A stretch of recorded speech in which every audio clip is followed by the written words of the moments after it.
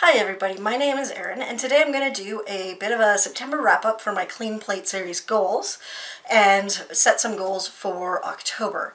This is going to be interesting. I said at the beginning of September that I was going to work on um, three different series. These are longer series uh, that I wanted to work on and get toward, get closer to finishing this year. So, the series that I planned to read were um, the Longmire series by Craig Johnson. I did not plan to finish this one. I was on book, I'd finished book six before September. In September, I finished book seven and eight, so I got two further in that series, and it goes to book 13. The current book is um, 13. I also said that I was going to work on Terry Pratchett's Raising, or not Raising Steam, Terry Pratchett's Discworld series, because I have two books left in that.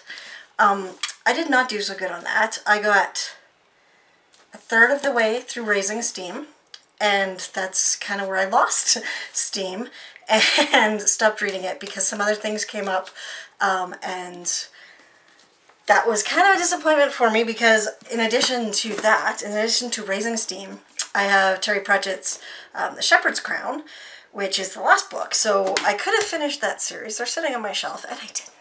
So that was a bit of a failure for me, and um, that, that happens, right? These things happen. What I did do was I managed to finish um, two books in the Anna Pigeon series by Nevada Barr, and this one's Firestorm, which is the fourth book in the series, and I also finished Ill Wind, which is the third book in the series. So I believe those are the numbers, um, and I'm loving this. Ill Wind is set in Mesa, Arizona, and this one is set in California. Now this one I thought was super topical, um, even though it's written in 1995, is actually about uh, a wildfire in California and the firefighters that get trapped in it when it um, when a firestorm basically happens and the fire changes direction and comes back on the firefighters and they have to sort of run for their lives and protect themselves and when that happens there's a murder of course. And so after that, and everyone comes out of their shelters and their protection, um, there are two men dead. One they knew was going to be dead, unfortunately, uh, and the other one is murdered. So it's kind of an interesting, very unique outdoor murder because it's basically a closed room murder. Nobody can get up um, onto the mountain because of the fire. It's blocked roads, the weather turned, and it's cloudy and foggy, so the firefighters, like they can't land a helicopter or anything like that to get the, the firefighters out. Um, and so nobody's coming onto the mountain and nobody's going off the mountain. And so all your suspects are there and you've got a locked room mystery on the side of a mountain in California, which was fascinating and I absolutely loved this. I did really well on the two series that I planned, two of the three series that I planned to read, which is good. Um, I also started a new series.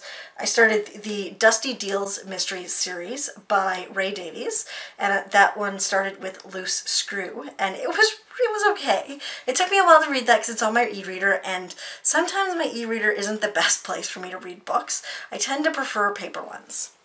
I also read two books in the Andy Carpenter series by David Rosenfelt, and this is a, a legal mystery series. Um, so our main character, Andy Carpenter, is a lawyer, and he has a dog, and um, in an earlier book, he came into a whole bunch of money, and he and his partner, um, not law partner, but uh, uh, his partner in the dog rescue, used that money to um, start the dog rescue. And so there's this kind of parallel stories going on typically in all of the books, but it's also very animal focused. And I love that. I, am I really like the animal focused books. So I'm really liking the um, Andy Carpenter series. And I read books 7 and 8 in that series, and I believe that one also has 13 books. So I'm getting there. I'm getting caught up on that. I got myself caught up on the uh, Tess Gerritsen Rizzoli Isles series. This is set in Boston and it's a medical examiner, um, which is Dr. Maura Isles, and a police officer, uh, Jane Rizzoli, Detective Jane Rizzoli, who um, solve crimes. It's a little gory, it's a little, uh, it's a thriller, right? It's a medical examiner thriller. Um, and so I got caught up, I read book 12 of that. I did a book chat about it, and that is I Know a Secret. So that was really awesome to get caught up on that one. And I also got caught up, I finally read Turbo 23 by uh, Janet Evanovich, which is a Stephanie Plum novel, and I mean, that one's kind of a lather, rinse, repeat. So I did get caught up on those two, and then I started a new series, but I started in the middle of this one, and that is the Positively Organic series by Liz Mugavero. So that was, I read Purring Around the Christmas Tree, which was book six. So that's where kind of I did how I did in September, I did okay. I finished off a couple series. I made some really good progress on two of the series that I want to, two of the longer series that I'm trying to catch up on. And now I want to talk about October goals. I decided that I needed to spend October getting back to some of my favorite cozies and starting some new cozies. Um, in an easy win for me, I have, there's a two book series by Julia Buckley and it's the uh, Writer's Apprentice series.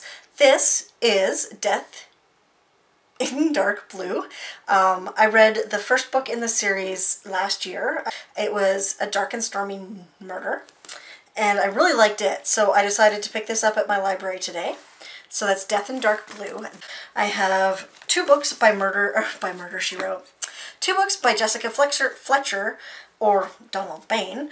Um, I've got Skating on Thin Ice, and I have The Fine Art of Murder. Both of those are Jessica Fletcher books. There are so many in that series, I can't even count.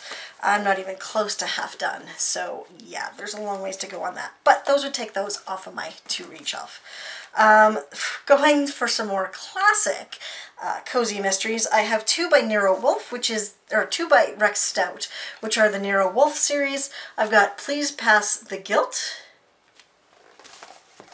and, wow, that was talented, The Golden Spiders by Rex Stout. And then um, you can't really do a month focused on cozy reading without reading the Queen, Agatha Christie. So I have Sparkling Cyanide, Curtain, which is Poirot's final case, and N or M, which I believe is Tommy and Tuppence. Um, and I love this I don't love. The swastika on the front of this um, means that it's probably set in one of my favorite time periods, which is World War II. I don't know why I'm so fascinated by it, but that's that. So basically this month I'm going to be working on um, the Agatha, or not Agatha, yeah, Agatha Christie series. So there's three series there that I'll be working on. Um, the Rex Stout series, Nero Wolfe, and the easy win of that one book by Julia Buckley for the Writer's Apprentice series. I also went to my library today and found two books that are new, first in series. I looked for that specifically. And I found Kernel of Truth. Sorry about the lighting, I'm really trying to get some better light here. Um, so this one is the first in a popcorn shop mystery. And Kernel of Truth, haha, get it, popcorn kernel. Um, and Needed Kneaded to Death, which is a bread a bread shop mystery, which, let's face it, that's a bakery. Bread shop, bakery, bakery, bread shop, bread shop. And this one's by Winnie Archer. So I picked those two up for two new series to start. Not that I really need to start new series, but you know. And I'm also going to continue listening to the Andy Carpenter series on audiobook because that's kind of how I've been consuming those so far and uh, I am digging that. So that's, yeah, that's my goals for the month. Uh, I know I've got some other books that I'll be reading, but that's that's my my series goals. So there you go. Have a great day, everyone. Bye.